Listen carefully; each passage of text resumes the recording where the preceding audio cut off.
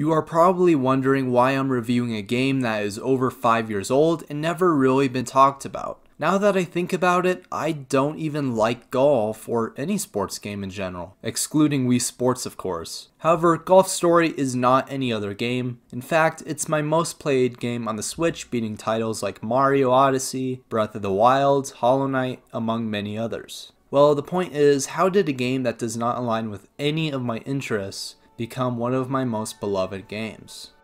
Chapter 1 The Story you open your eyes and the game begins in Wellworn Grove, a lusciously green and vibrant environment that pops off the screen as you get a short tour of the course. You see very early on that the developers have a great sense of humor and incorporate that through colorful characters who you will meet throughout your journey. Your main goal is to participate in the Pro Tour as your dad instills your mission to learn and grow in the form of golf in the very beginning of the story. Then 20 years pass and you decide to visit Wellworn Grove in order to fulfill the legacy that you and your father made so long ago. Your character's experience only includes what you learned from your father, so rationally you look for a mentor. But there's a catch because the only man qualified to teach you literally hates you.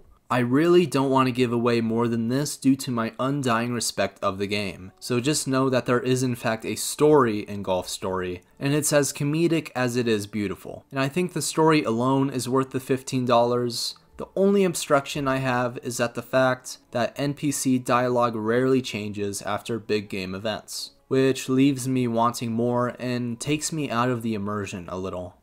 Chapter 2 The World there are a total of 8 courses not including frisbee parks, golf, houses, and so on. This is actually a very generous amount of courses and gives you a positive incentive to progress. Not to mention, each course feels different enough to where they can each hold their own. I won't lie though, some don't get quite as much love as others, and yet I still love them all. Inside each of these courses, there is a main story to accomplish, which always results in playing through the course with allies and enemies alike. It at times can feel a bit too structured, however, it is still a very enjoyable way to lead world progression.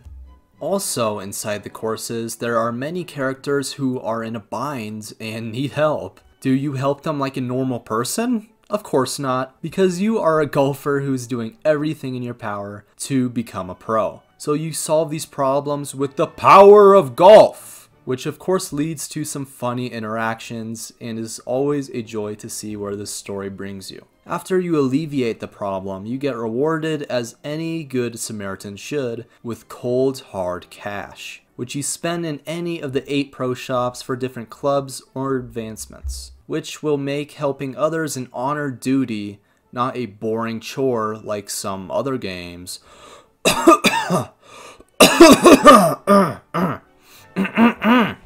Ah, overall, the world reminds me of Mario Odyssey, a lot of diversity and special gameplay mechanics that make every world different enough to remain lively, while some worlds may be less large and advanced. Each last one has a lot of personality. Chapter 3 Gameplay at first, I genuinely thought there was not too much strategy involved and I would master the gameplay mechanics in under an hour. I was wrong, but in the best way possible. As I mentioned before, the first 5 minutes of Golf Story introduce you to the world as well as teach you some core mechanics as well as through the game you learn new skills and you can apply them to the new courses that require a sharper touch to get effective scores to progress. Also, there is a skill tree type of progression, let's just call it a skill bar, that showcases your stats which include power, purity, strike, ability, and spin. Each are valuable in their own ways. I personally believe power to be the best in most situations, especially for courses like Blue Moon Dunes, which has long stretches that require a strong swing. When you first start playing, you may feel a bit overwhelmed, but you quickly adjust to the game's mechanics.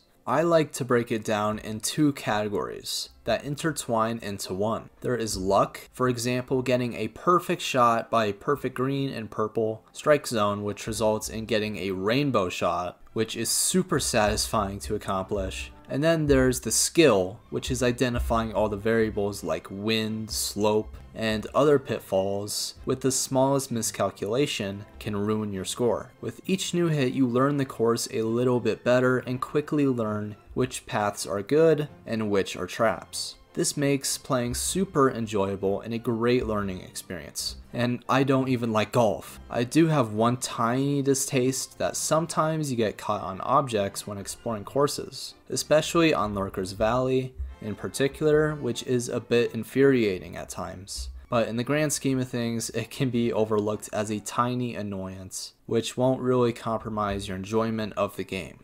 Chapter 4 Art and Melodies no, I did not mislabel my chapter. Golf Story really is that good, both graphically and musically. Is uh, musically a word? I don't know, but we'll run with it. The two things I noticed first when I loaded in was the iconic Well-Worn Grove score, which on another note I will leave a link in the description to the official digital album for all the different scores if anyone wants to take a listen. All the music has an insane amount of personality and each course has its very own theme which best suits its environment. The music begins to kick in during more intense shots, which puts a level of importance in your decisions. It feels meaningful and almost nerve wracking to clear each hole. I really love details like this. It really puts you into the game and makes each course you play feel like a challenge that you are conquering by the skin of your teeth. My one and only complaint is that I wish the creator Joel Steudler had written a little bit more.